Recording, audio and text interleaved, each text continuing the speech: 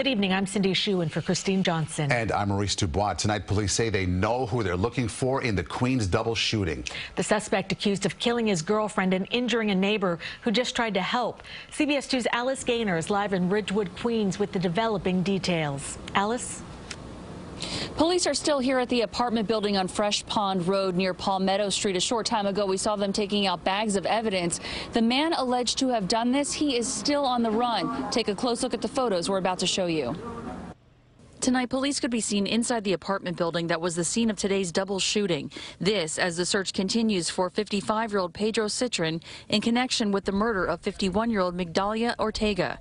Police sources tell us Ortega was his girlfriend. They said stay inside your store because there is a killer here, there was a crime, so you better stay inside the store, and we didn't go outside.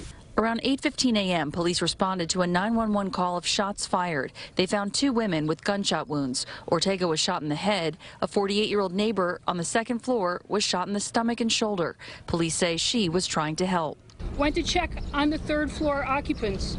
She was then shot and fled back to her apartment.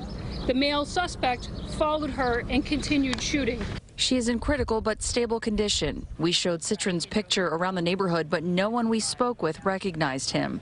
I was very shocked about it. I was extremely shocked. Ortega was an 11-year civilian member of the NYPD who worked in the Information Technology Bureau.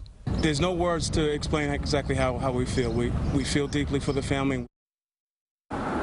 The NYPD says there are no prior reports of domestic violence between the two. If you know anything, give police a call.